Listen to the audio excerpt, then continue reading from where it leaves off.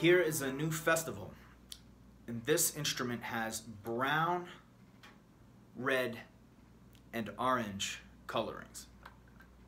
So the foundation of sound is both brown and red. It has both dark and bright characteristics.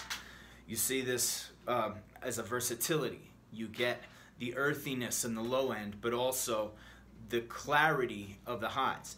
The orange, of course, helps to express those things. It expresses the redness and it gives it a resonance, a ring.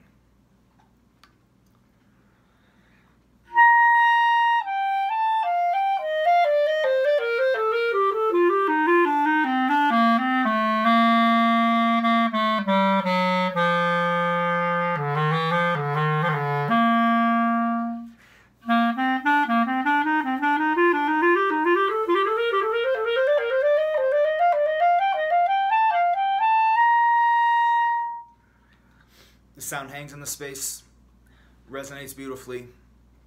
It has an earthiness, an earthy quality in the low end, and also brightness where you want it to be.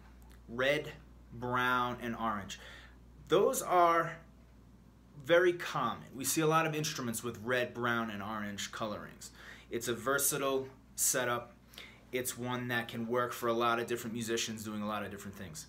So this is a festival brown, red, and orange Color-Rings.